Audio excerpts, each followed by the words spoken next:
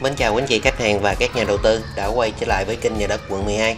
Hôm nay em Phúc đang có mặt tại phường Thanh Lộc, quận 12, thành phố Hồ Chí Minh để giới thiệu tới quý anh chị một lô đất lớn có sổ hồng riêng.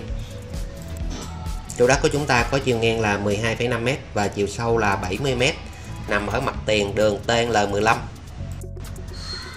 Và đây là sổ hồng của lô đất chúng ta, tổng diện tích là 889m2. Lô đất có hướng đông nam và được chủ lên thổ cư 703 m2 và giá bán của lô đất là 26,5 tỷ. Giá này chúng ta có thể thương lượng trực tiếp với chủ và chủ hứa cũng sẽ bớt lọc cho chúng ta.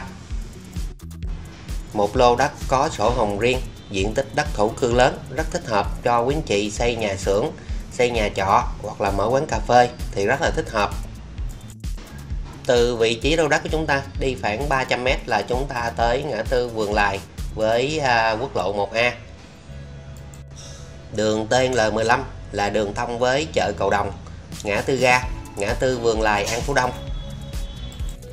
Đường trước lô đất của chúng ta có chiều ngang là 12m, hai bên có vỉa hè, mỗi bên khoảng 3m. Nếu à, quý anh chị quan tâm tới lô đất thì có thể liên hệ với em theo số điện thoại ở góc màn hình để tới xem trực tiếp vị trí lô đất.